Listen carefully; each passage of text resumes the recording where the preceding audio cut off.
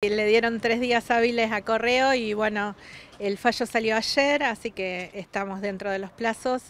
Mañana acordamos con los abogados y los testigos acercarnos a correo para que me den tareas, las tareas habituales que venía haciendo, así que más que feliz. Ellos, pre correo presenta a través de una abogada de Comodoro Rivadavia una apelación. Eh, la cual analiza el juez Astre y bueno, eh, aparentemente no fue tan tanto como se esperaba y bueno, el juez dictaminó que la cautelar eh, le den lugar, así que bueno, ahí estamos, esperando la, volver a las tareas habituales, volver a tener eh, la obra social, que es lo que más nos interesa a nosotros, tanto a mí como a mi hija, así que bueno, más que felices. La ilusión es lo último que se pierde, dicen. Eh, fueron meses muy difíciles eh, y la verdad es que cada vez que, salía algo esperábamos que sea esto, pero bueno, hasta que no hasta que no sale esto de tres días hábiles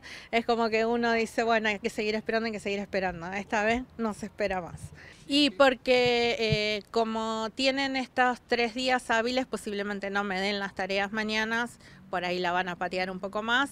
Eh, lo que sí entiendo es que cada día de demora eh, ellos como empresa tienen que pagar una multa, así que supongo que van a estar eh, más que satisfechos en darme servicio. La realidad es que para mí es un, logro, uno de los tantos logros, como yo digo, en mi vida no fue fácil. Yo en el 2001, cuando también pasa, atravesamos una crisis en el país estaba eh, recibiéndome y también no la pasé nada fácil. Eh, no era cabeza de familia, no tenía hijos a mi cargo y era otra mi realidad, pero también fueron momentos muy difíciles. Después mi papá se quedó sin trabajo, así que todos los hermanos nos tuvimos que apoyar y acompañar y sostener también a los, a los padres. Y la verdad es que eh, después que me tocaba a mí era como que otra vez volver a atravesar todo esto, pero bueno, se sale, se sale, como dijeron las chicas recién, eh, las tormentas pasan.